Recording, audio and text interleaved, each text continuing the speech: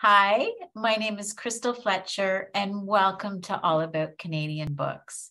I'm very excited today because I have a special guest, 12 year old Canadian book lover and YouTuber, Wild Willie. Wild Willie's reviews focus on Canadian authors, especially ones in Atlantic Canada. Welcome to All About Canadian Books, Willie. Thank you very much for having me. It's my pleasure. Now, I should ask you before we even get going here should I call you Willie or Wild Willie? It doesn't matter, whatever's easier. and where did the name Wild Willie come from? Is there a story behind this? Well, I was so I always wanted to have a YouTube channel from when I was young, and we kind of thought of this idea to review books. And one of my other like channel ideas was to do like kind of just everything, which I have another channel too, which is just for whatever. Mm-hmm. And I just thought Wild Willie would kind of be cool because my name is William and yeah. It was at the time it was just kind of a crazy idea, so I thought it's kind of a perfect name to match the channel. it is indeed. Now, Willie, you were 10 years old when you came when you came to this conclusion that you needed a YouTube channel. That is crazy. was it hard for you to do the technology behind it or did you just kind of launch into it? I think I kind of like I got the idea. I created the channel like one night and the next day I just started a video to kind of see how it went and just rolled with it. Of course you did. I should probably get you to help me with my technology. You're probably better at it than me. um, so Willie, I mean this this love of books that you've had, you've obviously had it for a long time. How old were you when you discovered books?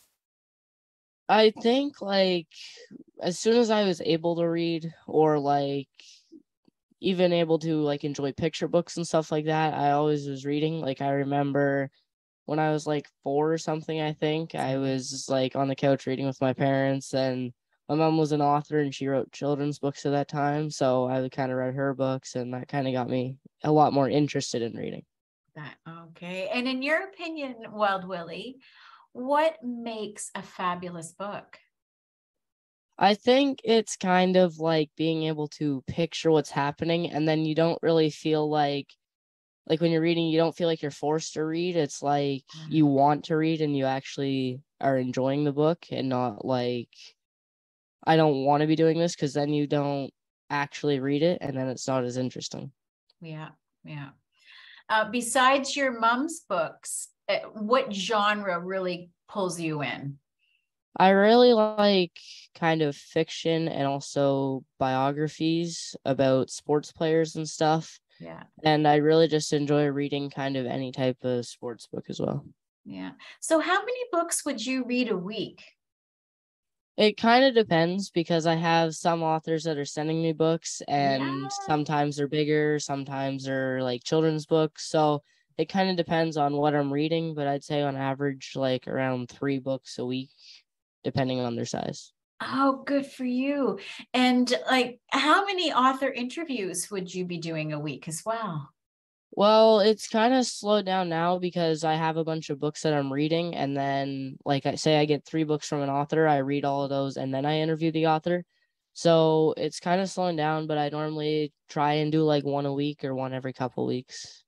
That's pretty amazing. And you, I mean, you've talked with some really big Canadian author names. Like I noticed that um, Lawrence Hill is one of the authors that you spoke to um, do you have in all the interviews that you've done is there one that stands out as being particularly special or memorable i think well when i started interviewing it was just i was at read by the sea which is a literary festival in nova scotia mm-hmm. and i just remember thinking how cool would it be if i could interview all the authors and there was three authors there at that time so I just went up to them, and one of my first ever interviews was Wesley King, and it was just really interesting to talk to him. And that was my first ever interview.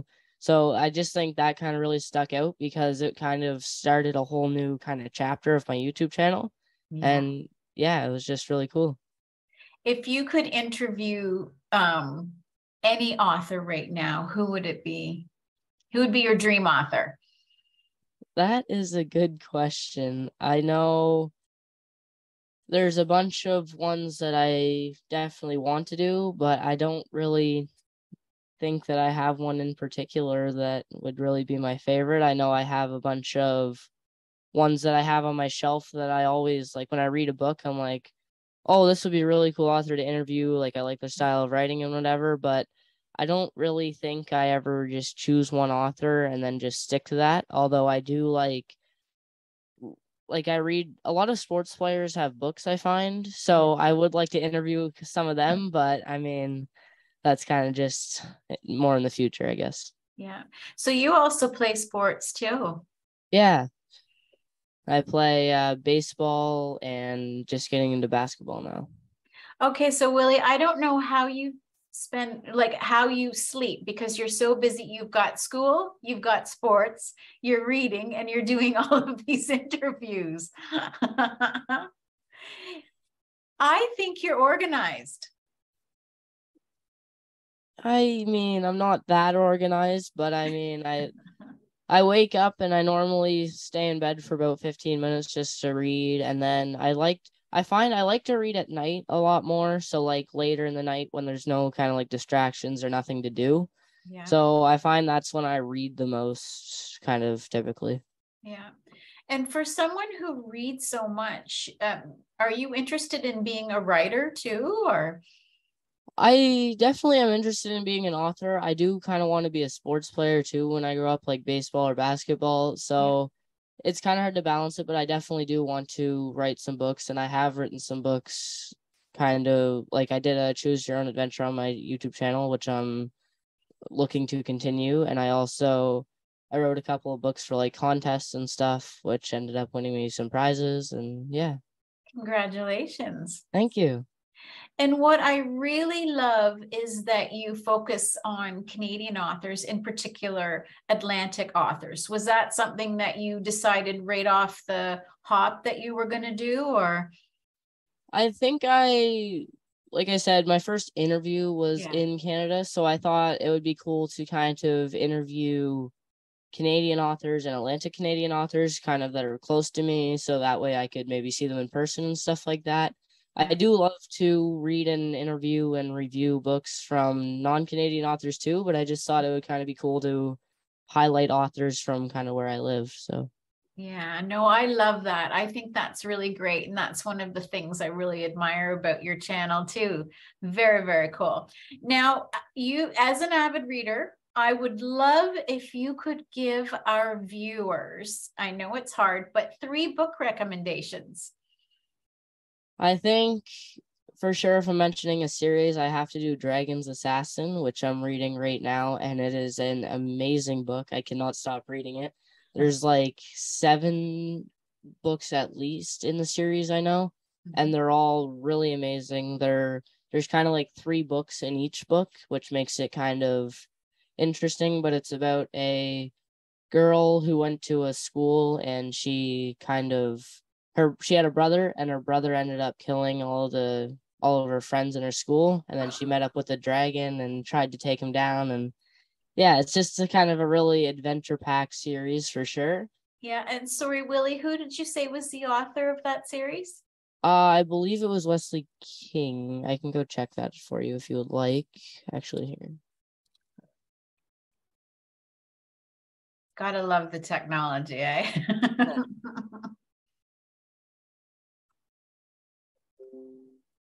Um, it was Arthur Slade, actually. So. Okay. Okay. Perfect. And another one that I definitely recommend is Beatrice and Croc Harry by Lawrence Hill.